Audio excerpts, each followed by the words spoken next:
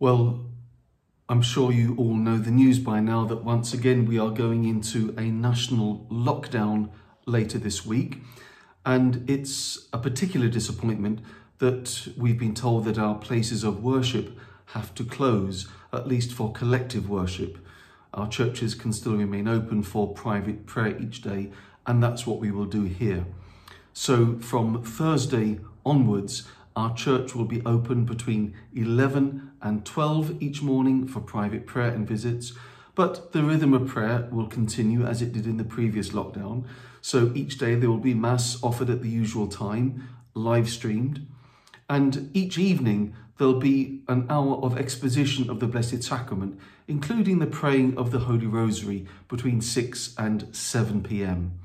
And we'll offer this praying of the Rosary each evening for the intentions of our parish, especially the temporal and the spiritual needs of our parish at this time, for an end to the pandemic. But also, as this is the month of November, we'll offer this for the holy souls in purgatory. Now, many people do not have internet connection and there'll be a lot of people who won't feel very connected at this time as a result of that. So if you know someone who doesn't have internet connection, you might like to keep them abreast of things that are going on in the parish by informing them, by maybe bringing them information, printing off the newsletter for them, everything that will help them to keep in contact. This new lockdown will last a month and it will take us into the first week of Advent. And as we go through these weeks now, the last weeks of the liturgical year, it's good for us to remember that things have their place in God's plan, that we have to see everything in the light of eternity, that we think in these weeks especially about the final things, about death, judgment, heaven, and hell. But above all, as we approach the season of Advent, we pray that we may live in great hope in great trust of God.